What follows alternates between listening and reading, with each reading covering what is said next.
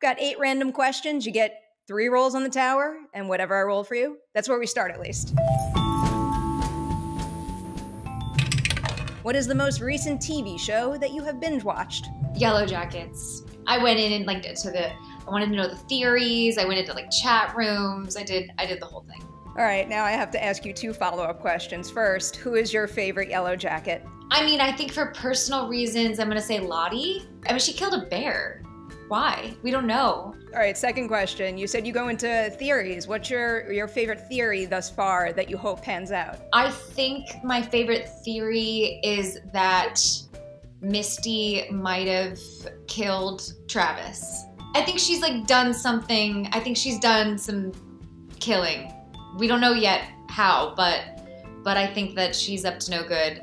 And I also don't think they eat um,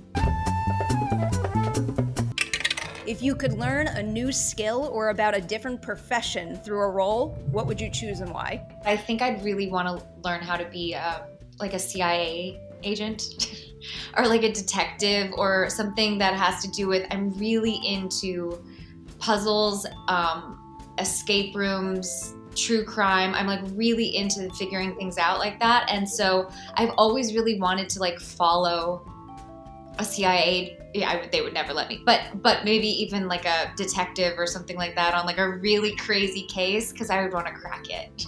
now I also want to cast you in Escape Room 3 and I need to ask you if you're playing Wordle. No, what is Wordle? What? you don't know what Wordle is? It's this game where you have to guess a five letter word and you only get one per day. And it tells you when you guess a word which letters are the correct letters in the word and it tells you if they're in the correct position. And you need to like use the clues to figure out what the word of the day is. Ooh. Okay. I like when there's clues.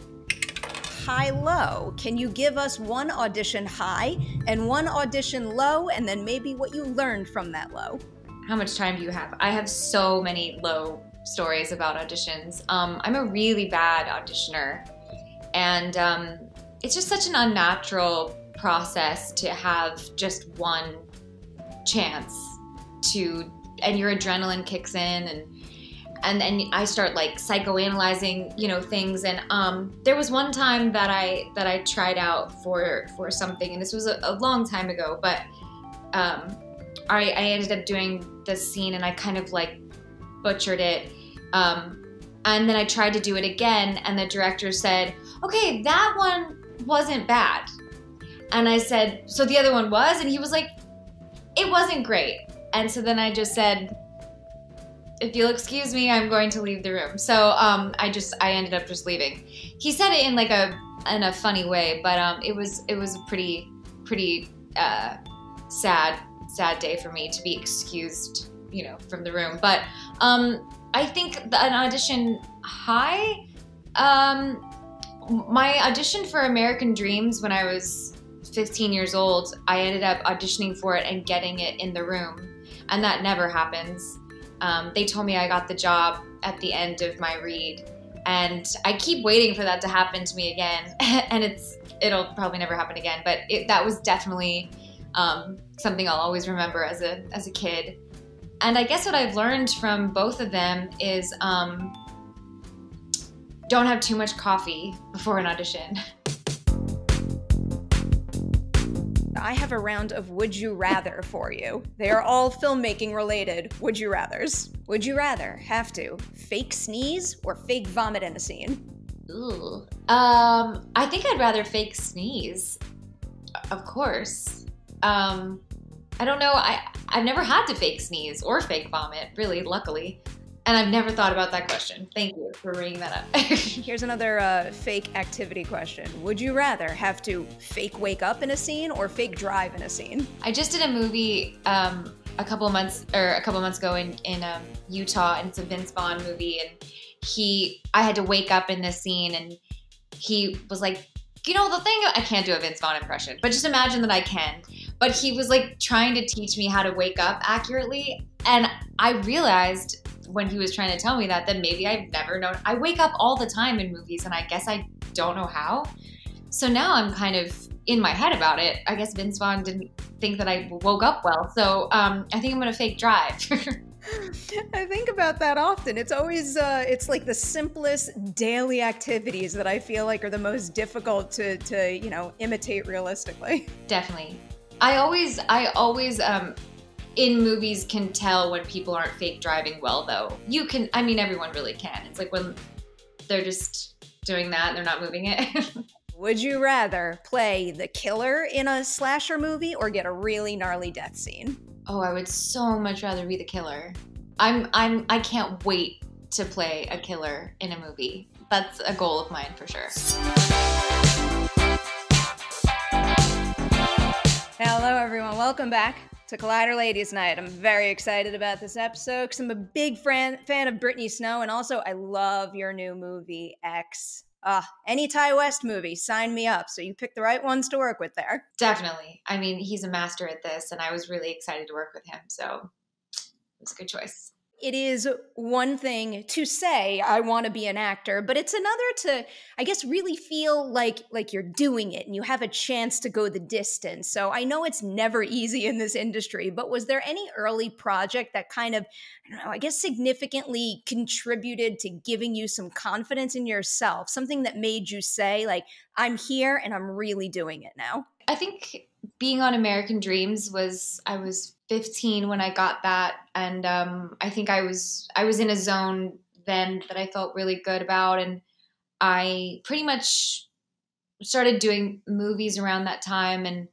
um, I also feel like Hairspray was was sort of that moment for me too, where I was with people that I regarded as icons, and I felt connected to the environment, and I felt like I hopefully deserved to be there. And that was, I was only 21. So I felt, um, yeah, I felt like I was in the right place at the right time. One, two. Uh, what was that?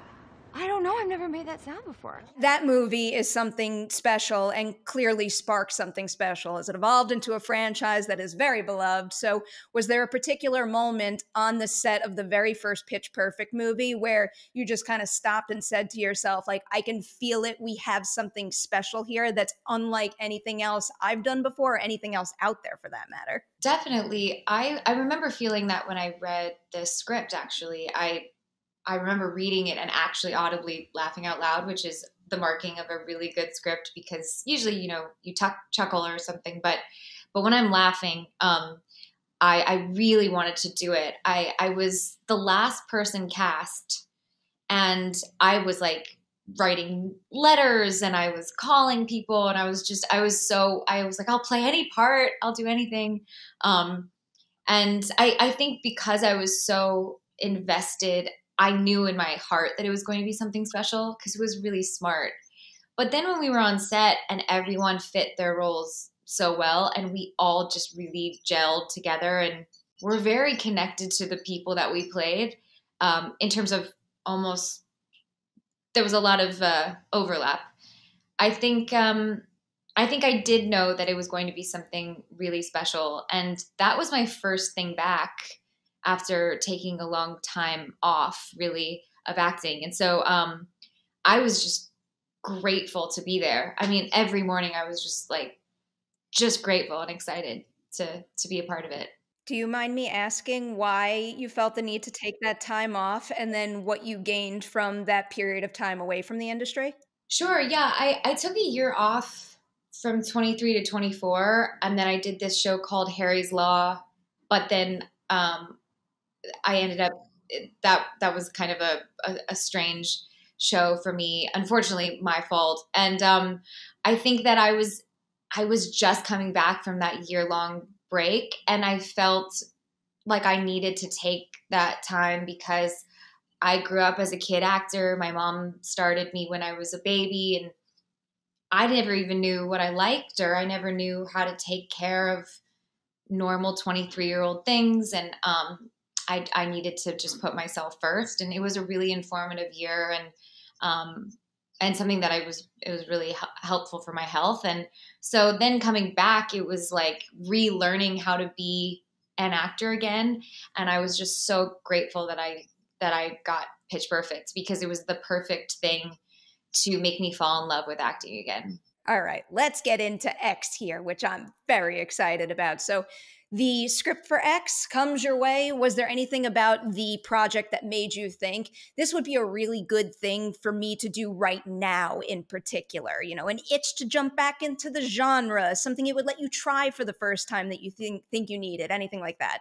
Definitely, all of those things. I think the script came at a perfect time for me. I was itching to work because it was COVID and um, and we were kind of in this place of needing to have an escape, needing to have fun, needing to feel connected to something that was exciting. And so I got the script. It was A24, it was Ti West, it was Braun.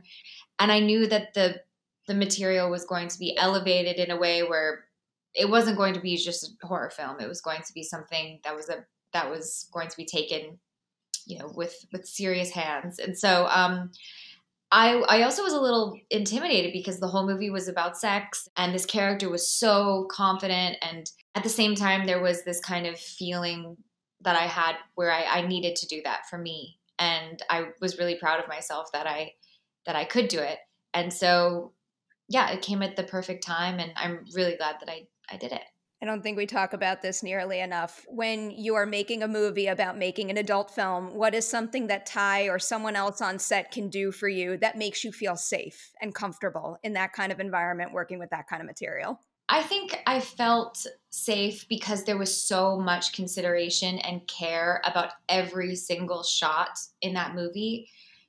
Nothing was shown that wasn't talked about at length beforehand Nothing was off the cuff.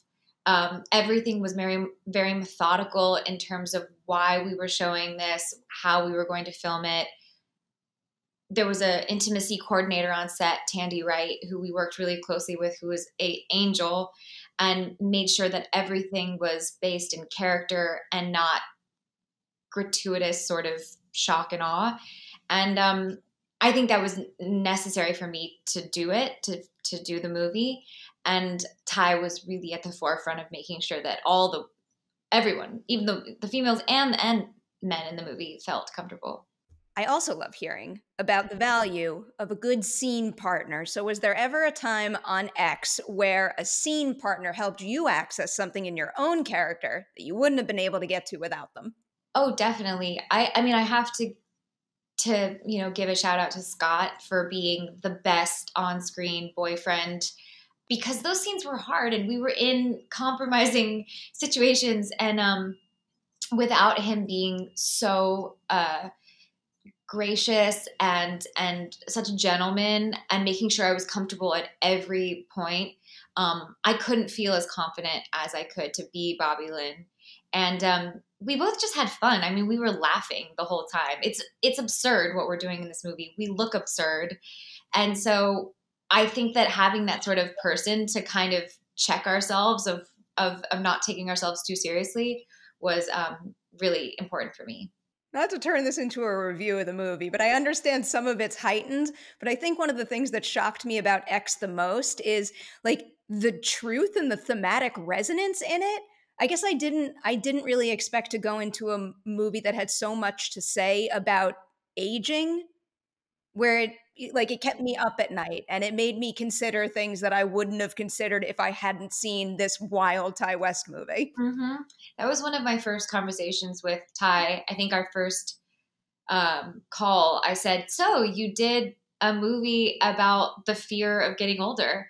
I feel that, you know. I think everyone feels that. I have have aging parents and I'm getting older, you know, and there is always that fear of like, am I doing enough? Am I living my life to its fullest potential? And um, and I think the juxtaposition of these two groups of people, one at the beginning, one at the end, and how that collides, I think is something that nobody's done in a horror movie before. All right, I'm going to put up the spoiler warning now, even though I don't think this is being treated like a spoiler, but I wanted to reverse the scene partner question because I can't imagine what it must be like for Mia having to do that performance with all that prosthetic work. So, for you as her scene partner, is there anything that you were able to do for her to make it easier when she was kind of carrying that around all day?